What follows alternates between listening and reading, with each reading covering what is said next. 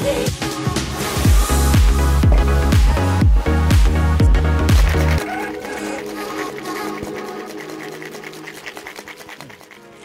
Connor, thank you for inviting me to Deja Vu today. How are you? Yeah, I'm good, thanks. How are you? I'm good, thank you. Thank you for being here. So, where did the idea of Deja Vu come from? Um, so I've always been super passionate about food and drink and I was lucky enough to grow up in Spain where obviously food and drink's a massive vibe out there. Um, started up cooking for a restaurant when I was 16, 16, 17. Um, I'm 29 now, so obviously fast forward 10 years or so. The idea has always been to try and open up a quirky, unique venue that serves amazing food and drink that people can unwind with after a hard day's work. You know, coming in with friends, family, um, just having a good time. And I've always known, I'm pretty lucky, I've always known kind of from a young age what I wanted to do. So I feel very lucky to be able to be in that situation. Um, and if I can create a product that people can enjoy as much as I do while sitting with friends and family and having a good time, then yeah, kind of like, why not really? So.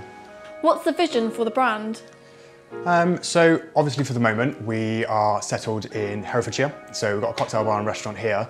Um, we are definitely looking for expansion eventually into other cities. We probably will go to other cities on a smaller scale. So obviously the places like Manchester, London and Liverpool are quite oversaturated with niche cocktail bars. So it just seems illogical to go to somewhere that's already overpopulated and overcrowded with that type of demographic.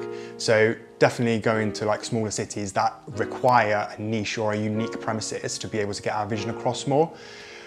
We've also got a load of other um, projects in the pipeline as well that we will be sharing in the next year or so that has been put on hold because of the pandemic and what's happened the past two years. But yeah, there's, I see, I see Deja Vu as this massive entity that we can explore into different avenues.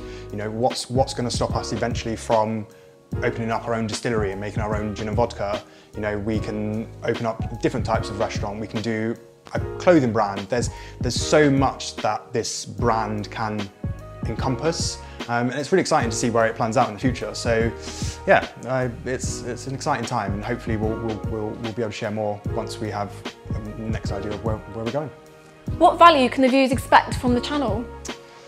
Um, we've got loads of exciting stuff planned. Uh, we definitely want to focus on tutorials for making cocktails at home. It's definitely a frequent question we get asked and DM'd a lot in, uh, you know, from Instagram and social media why not give back to the community that have been supporting us for the past four or five years since we've been operating and allow them to make their favourite cocktails at home. Um, we've also got some like, really wacky ideas penciled in and that we will be sharing with you later on, hopefully as the channel grows. Um, so yeah, definitely subscribe if you want to see some more stuff. Um, but yeah, um, we just want to we just want to have a good time, create amazing cocktails, um, and really go into in depth on how you can create those at home as well. So you can show them off to your friends, family. You know, you're having a house party or a get together, a nice a nice bougie dinner. Um, you'll be able to make some amazing amazing cocktails for your family as well. How has the pandemic impacted you as a business? I think it's impacted us in both good and bad ways. So obviously opening up a hospitality venue is hard enough as it is. There's so much like you wouldn't even think about that needs doing. Um, but opening up during a, a pandemic, as you know, what we've just been through, is it was was extremely difficult. I can understand why so many businesses go or give up, you know, two or three years in. It's, just, it is, it's been the hardest thing I've ever done. But on top of that, it's also been the most rewarding, satisfying journey of my life. People have come out of their home during these uncertainty, uncertain times and you know, wanted, wanted almost escape from reality and we've been able to provide that through our product and our uniqueness and the exciting theatrical cocktails that we offer.